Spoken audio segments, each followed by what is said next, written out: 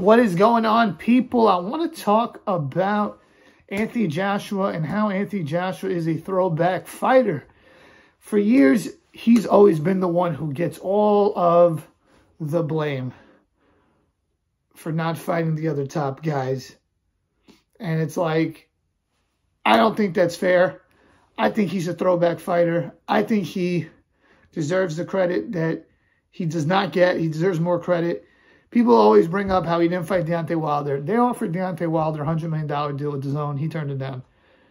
They talk about how he didn't fight Tyson Fury. They offered to fight with Fury in 2018. He turned it down. He was supposed to fight Tyson Fury, but Fury had the court case, and Wilder ended up fighting Fury for the third time. Good thing he did, because that was one of the best heavyweight fights of all time. He was supposed to fight Deontay Wilder after this.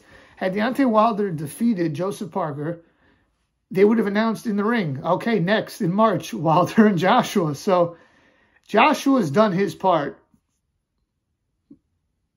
It just hasn't worked out. You look at his career, this guy started boxing in 2013, professionally I'm talking about. Guy already fought for a, a belt in 2016. He won his world title in fewer fights than Wilder or Fury. He won it by his 18th, I think, 18th fight. Fury, I think, was by his 26th, and Wilder was by his 30th. They were brought along slowly, especially Wilder.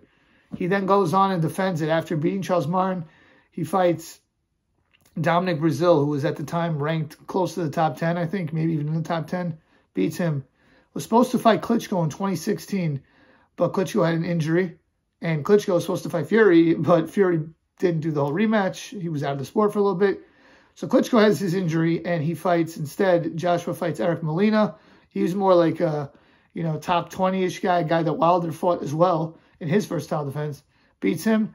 Then he fights Klitschko, who at the time was at worst the third best heavyweight because it was Wilder, Joshua, and Klitschko. Old legend. Beats him in one of the best fights in the history of heavyweight boxing. Then he fights Carlos Takam, mandatory.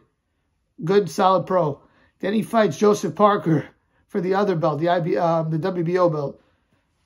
It's like another top three guy who he beat. At that time, it was Joshua, Wilder, and Parker. However you wanted to rank the three, those are the top three. Then in 2018, he fights at the end of the year, Alexander Povetkin. I think he was ranked fifth or sixth. Very good heavyweight still, even at that point. Knocks him out. Then he fights Anthony, Andy Ruiz. He was supposed to fight Jarrell Miller. They were, did that fight because Jarrell Miller was from New York. He was in New York. He was going to come to the USA. Jarrell Miller fails a bunch of drug tests.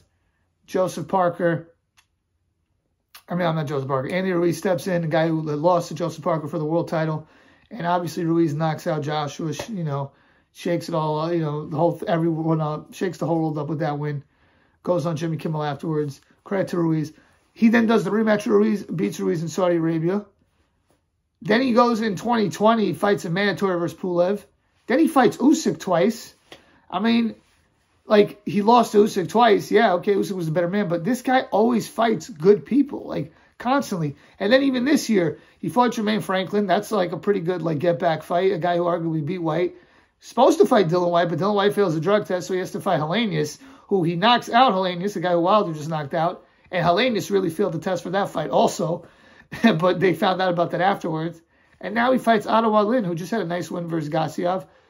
This guy has a good resume, and uh, I, I, think you got to give him credit. He's always fighting top people. The two heavyweights that constantly fight top opposition time and time again. Really three, you could say. Joseph Parker, Anthony Joshua, and Alexander Usyk. Let me know what you guys think. Please like, share, comment, subscribe. Peace.